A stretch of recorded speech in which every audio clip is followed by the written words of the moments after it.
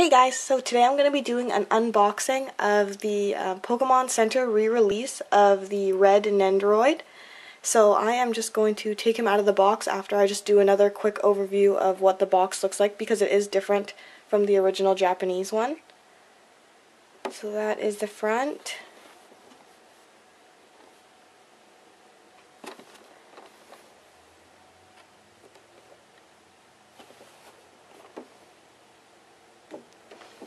Alright, someone unbox this. I'm really excited to get this going, so I will come back when it's all taken out.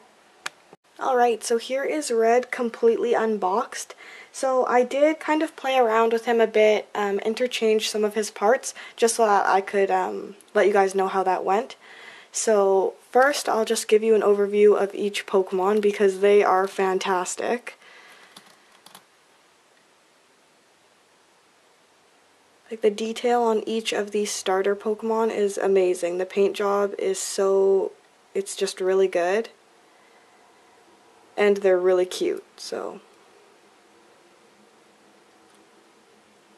So that was Bulbasaur.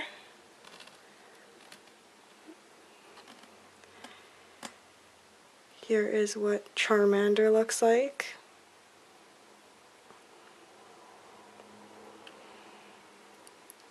These are probably the cutest props that I've ever seen any Nendoroid come with.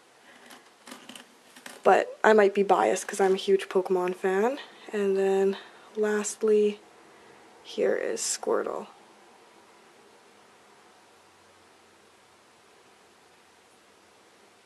Just the way that they colored each of the Pokemon is just really perfect.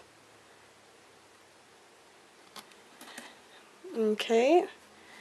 And so now we'll just do a close-up on red. So as you can see, the paint job is flawless on him. And when I was putting or interchanging his pieces, um, they all went in really well and they all stayed in really well. There's nothing really that's loose except for his backpack. Sometimes that can be a little bit of a pain to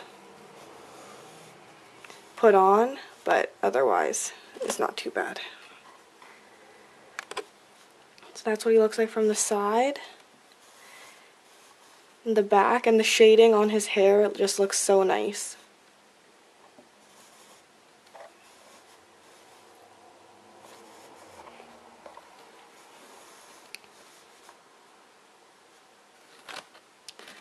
So there he is. He is super cute. Like I am so happy with the way that this figure is. I can't wait to display him. He does come with some additional parts. So he comes with this more serious face. And then he also comes with this like in the middle of battle face. And then the other props that he comes with, he comes with one extra leg so that he can face like sideways, look like he's kind of pivoting. He um, there's a master ball as well, and uh, an arm that has a Pokedex, and then a couple other arms, one so that it could be in his pocket, and then the other one that's holding a Pokedex. So there's lots of different ways that you can pose him, but I am just so happy with the way that he looks. So that's it for this Nendoroid unboxing. I hope you guys like this. If you guys have any comments or any requests on um, Nendoroids that you'd like to see me unbox, I will see if I would like to purchase those, and then I might grab those up. But thanks for watching. Bye, guys.